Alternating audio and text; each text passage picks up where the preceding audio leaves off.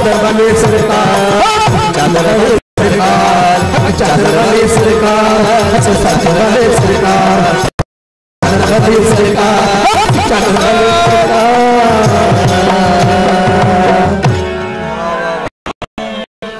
मामल फुकरा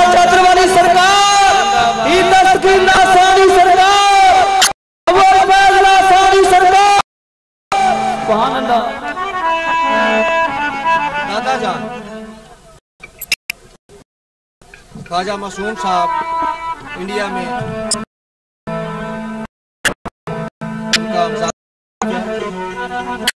और पाकिस्तान से, मुल्तान शरीफ से जो है, चंद लोग हाजिरी के लिए गए। वहाँ उन्होंने देखा कि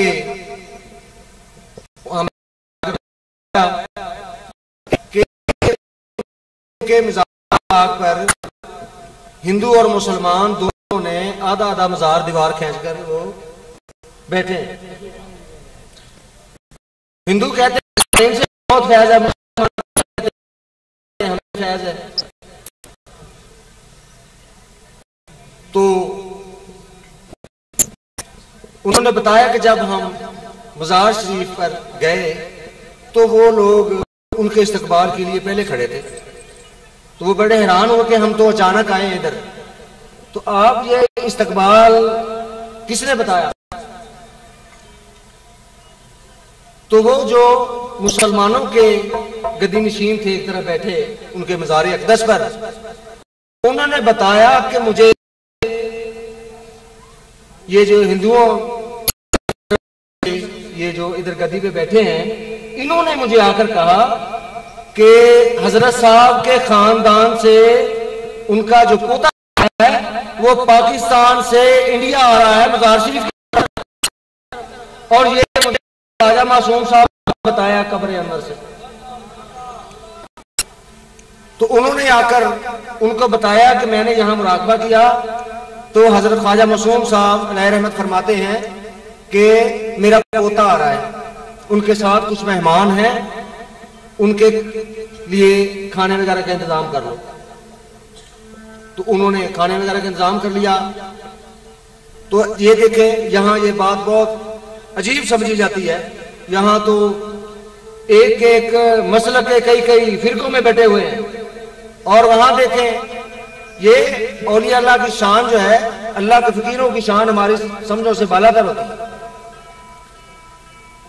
कि जो भी इनसे मोहब्बत करता है खा वो किसी नस्ल से हो, किसी खानदान से हो, किसी मज़हब से हो, किसी मसलक से हो, ये उसको भी नवाज़ देते हैं। और उन्होंने बताया कि हमारी, उन्होंने खुशामद की, ये यहाँ आकर बताते हैं कि जो मुसलमानों के खलीफा उनके बैठे हैं, उन्होंने ये बात बताई कि मुझे, उसने बताया, जो हिंदू बैठा है अगर, उसने मुझे ये आकर बात बताई। कितनी हैरान कुन बात और मेरे दादा जान, हज़रत पीर फजल दिन कादरी साहब साहब हाल दरवेश गुजरे। उन्होंने घर में बताया था कि ये वाकया उनके दौर का है, कि एक दरवेश थे, उनके साथ वहाँ पहले इंडिया में इकट्ठे रहते थे सारे। तो हिंदू भी एक जो था वो उस बुज़ुर्ग के पास जाने लग गया और कीदत मोहब्बत करने लगा। ना उन्होंने कभी उनसे कोई मज़हब की बात की, ना उन्होंने की। बस वो कीदत मोहब्बत करते रहे, मुसलमानों के साथ आके बैठ जाया करता, क्योंकि उनका मोहल्लेदार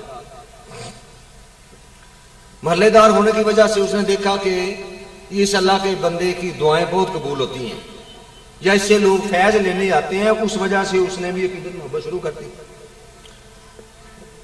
अब वो लोगों ने देखा कि वो इकट्ठे भी बैठ जाया करते। वो अल्लाह का दरवेश और वो हिंदू शख्स। अकेले बैठे रहते काफ़ी काफ़ी देर। जब वो हिंदू फौत हुआ तो किसी ने उसको मुसलमान होते नहीं देखा। कोई गवाह नहीं था उसका। अब उसकी, इन्होंने अपनी जो रूटीन है उसके लिहाज से उसकी मैयत को जलाया। आग लगाई, लकड़ियाँ जलाई, सारा उसकी लाश को आग ने छुआ नहीं। उसकी लाश सड़ी नहीं, उसकी मैयत तो वो अल्लाह का दरवेश कहता है, ये हमारा है, इसको अजाब नहीं हो सकता, चाहे दुनिया वाले देने या आखिरत वाले, इसको अजाब नहीं हो सकता, ये हमसे मोहब्बत कर रहा है। तो हिंदू बहुत हैरान हुए। उन्होंने कहा, नहीं जी, नहीं, हम तो अपने रस्म रवाज के साथ इसको जलाएँगे। ये पता नहीं क्या बात है, लकड़ियाँ दूसरी मंगवा ली लोग इकट्ठे हो गए लाश कैसे नहीं चलती दूसरी लकड़ियाँ मंगवाई, मजीद लोग इकट्ठे हो गए। उन्होंने कहा, भाई तुम अपना काम पूरा कर लवो। इन अग ने नहीं छूना। ये के फकीर मुहब्बत करता सी इन अजाब नहीं होना। अब दूसरी लकड़ियाँ मंगवाई, वो आग जलाई। आग जल के खत्म हो गई, वो हिंदू की लाश जो थी, उसको कुछ नहीं अब उन्होंने कहा कि इसको पानी में फेंक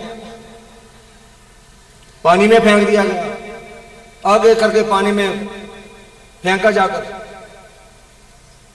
वो पानी ने बाहर निकाल के उसको रख लिया अब उन्होंने कहा, भाई, हमने तो जो करना था कर लिया, अब इसको आप ले जाएँ, जो मर्ज़ी करें इसको। तो फिर उन्होंने, उस दरवेश ने उसका नमाज़ जनाजा पढ़ाया और कब्र में दफनाया उसको। तो ये चीज़ें जो हमारे देखने में आती हैं और ये अल्लाह के दर से, अल्लाह के फकीरों के दर से, ये बड़ी हैरान कन है।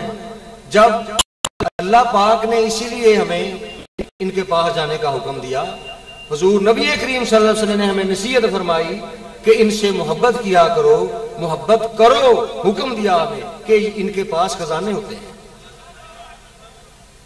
खजाने तकसीम कर अल्लाह रसूल से मिला देते हैं, इनामात लेकर दे देते हैं। जो इनसे मोहब्बत करता है, उसको उजाब नहीं हुआ करता। तो ऐसी बातें कई मरतबा देखने लोगों को